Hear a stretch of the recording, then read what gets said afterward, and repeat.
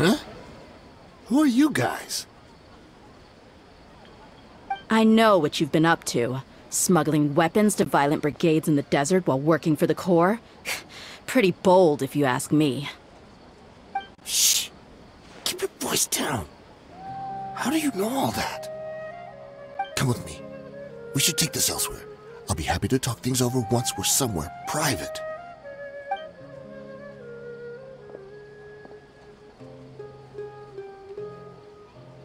This place should do. Alright, back to my question. How did you all know about me? Don't worry about that for now. You know what kind of punishment you'll face once we report you to the Corps, I assume. Wait, wait, wait. There's no need to jump the gun. Let's talk this out. What are your terms? So what's in it for you anyway, Mora? I was a little tight on money at the time, and Kusela took good care of me in the past. I waited in my mind, and I couldn't find a reason to turn the opportunity down. I wouldn't only be helping my benefactor, but I could also make some quick mora. Let me tell you how it is. We're investigating Dakan al Ahmar, and we're gonna put an end to their operations. If you provide some help for us, then we might just put in a good word later to reduce the terms of your punishment. Hey, why don't we discuss this a little first? Listen, I made quite a bit of mora from my last run. You just give me a number, and I'm sure we can. Shut it. My patience is running out. You should know when a mercenary is after something other than money. All right, all right, sheesh. But you gotta promise you'll put in some nice words for me later. They're always on the move. Here's the spot they were at the last time I made my delivery to the desert. Feel free to go have a look. I'm just telling you, though, it's not on me if they're not there anymore. Sure. And then you can forget about any nice words from us. Hey, come on. Now you're just being unreasonable. Really? And how do I know you're not leading us straight into a trap? Don't forget, you're the one with no bargaining chips. All right, I get it, I get it. Why don't you go take a look, and if they're not there anymore, I'll try to figure out something else for y'all. now that's more like it. Let's move. And as for you, try to stick around the city until we get back. You don't want us to call the folks from the Corps and have them drag you back to the city. Uh, don't worry. I'm not going anywhere. Hmm. Seems like we're in luck. That should be their camp right up ahead. Let's go. We'll finally get to the bottom of this ourselves. I'm here to see Kusela. Tell him to get out here. Damn. Why are you here?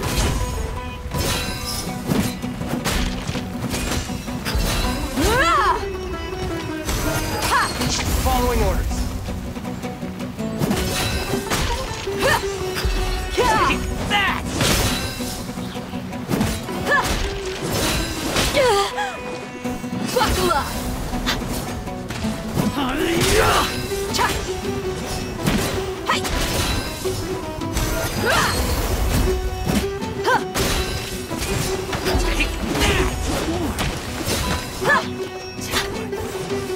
You ain't messing around! Let's get it on!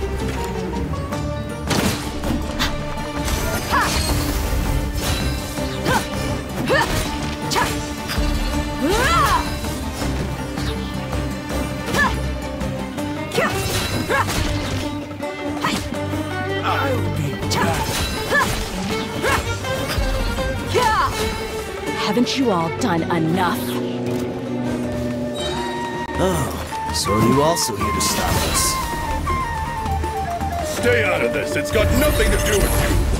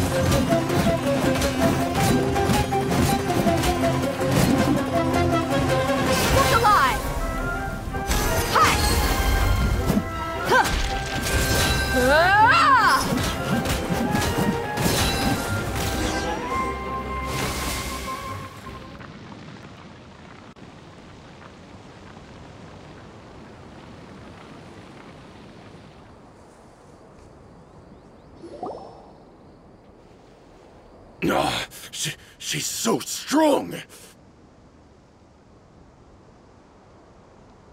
Enough fighting. We all know each other, and I don't want to take things too far. Just bring Kusela to me.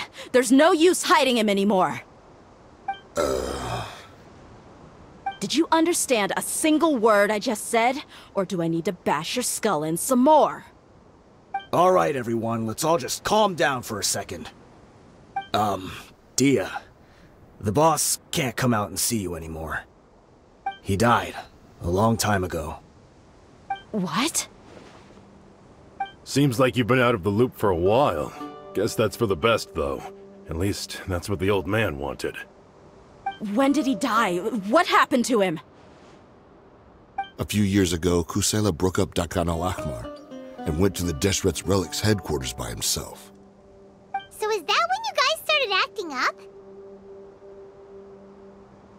We would prefer to call it taking revenge. Every last person in Deshret's relics must pay in blood for what they did. Let me start from the beginning. Dehya, do you know how the head of the relics maintained order internally? Overwhelming strength and unquestionable authority? Those were a part of it, yes. But just those on their own weren't enough. They had another tool at their disposal. They called it a person's record. Regardless of whether they joined by their own will or were coerced, every person in Deshret's relics were forced to leave a record of themselves at headquarters. Whether it be their deepest sin, some unforgivable act, or their most immoral exploit, the record served both as a symbol of loyalty and the perfect material for blackmail. That's precisely it. Every one of us have a record. Me, Bashar, Tikriti, and all the boys who grew up with Dehya and ended up joining our ranks. But you, Dehya, you were never asked to provide a record, were you? I. I never even knew this was a requirement. You were probably the only person in all of Deshret's relics who didn't know about it. Ever since you were born, Boss had been trying to shield you from this organization's sinister rules.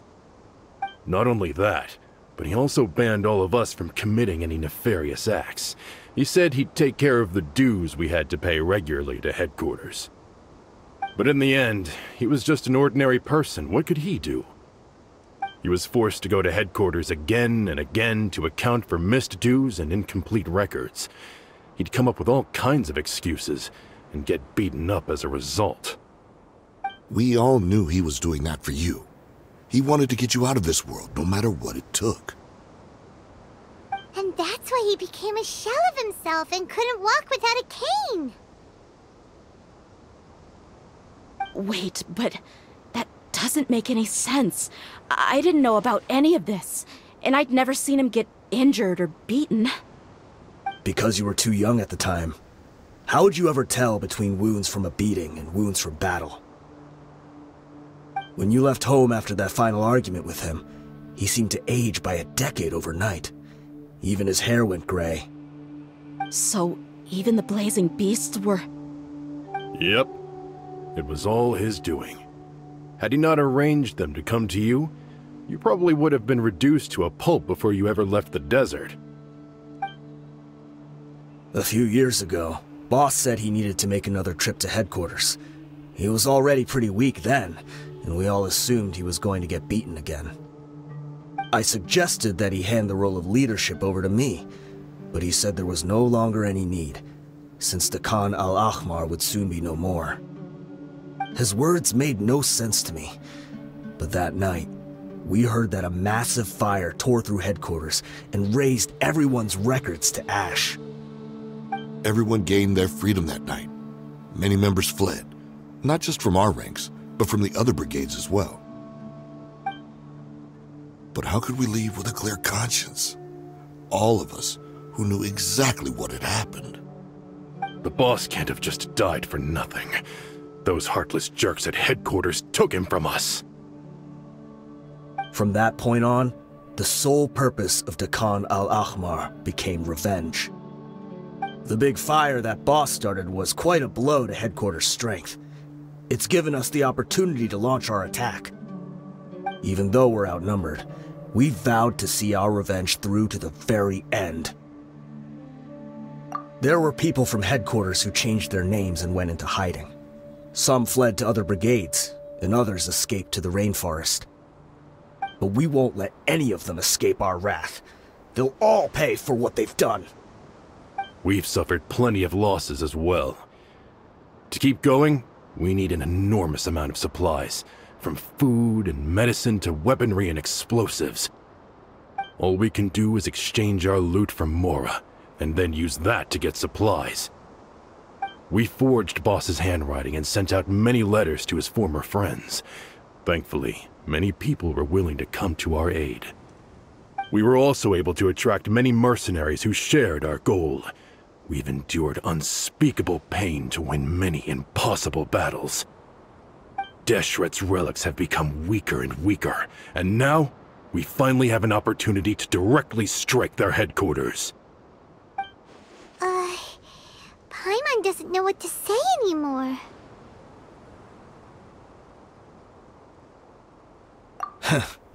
We do know right from wrong, but we were sinners from the very beginning. We do not deserve the freedom that the boss won for us with his life. Boss always loved his old-fashioned hero stories. Those tales about sacrificing yourself to save the world. We used to always laugh at him for it. But in the end, he really went and lived those stories out himself. As for me, I never considered myself a hero. We're all the lowest of the low. We have no right to even imagine such an existence. But maybe those hero stories he liked foreshadowed everything that was to come. The spirit of the hero touched all those he had saved, and more and more people joined his cause. Maybe we were all just acting along with the play in the beginning. But as we acted the parts and recited the lines, we were drawn in. And now, we want to see the story through to the end. I'm sorry, Dehya. I know you always found us insufferable ever since you were young. Just think of this as a madman ranting. I'll go with you. Huh? Dehya? You wanna go with them? I grew up with these guys, and I know they're not bad people. It's just that some situations get so bad that it's difficult to tell good from evil. All I know is that Deshret's relics must be destroyed. Furthermore, I want to go see the place for myself. I want to know if my father is still there. I know you don't want to get involved in this, so there's no need for you to tag along. I can do this on my own. Yeah. Paimon feels like we'd only regret it if we don't see this through to the end. Thank you. We'll be a lot stronger together with you. I bet Boss would lose his mind if he ever knew you'd join us at the very last moment like this. Considering all the losses and injuries we sustained, we can't afford to turn down someone as powerful as you. He can think whatever he wants. But the fact is, I owe him this much. I guess it all comes down to this. What a bummer. I just had to get injured now, right before the final fight. Be sure to punch one of them for me, huh?